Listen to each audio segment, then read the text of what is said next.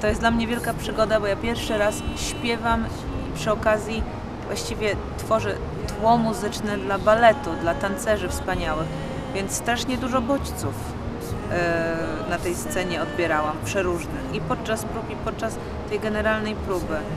To jest bardzo dobre, ciekawe, nowe doświadczenie, bo jazz jest muzyką improwizowaną i my właściwie tworzyliśmy takie tło do tej pięknej improwizacji ruchem. Więc poza tym ja bardzo lubię, jak się różne gatunki sztuki przenikają, jeżeli to ma sens. Jeżeli nie ma, to jestem przeciwniczką, ale w tym wypadku Chopin, balet y, i wszystko gdzieś tam w takim mianowniku jazzowym moim zdaniem się klei.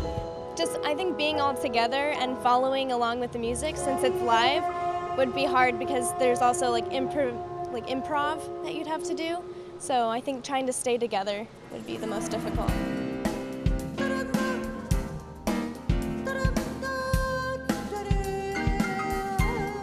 kind of reminds me of New York. It's a big melting pot of all different cultures and languages, and that's what makes the show really special having diversity and dealing with um, different backgrounds and having them all come together for one beautiful work of art at the end. To było naprawdę niesamowite, piękne, wspaniałe, wybitne wyzwanie.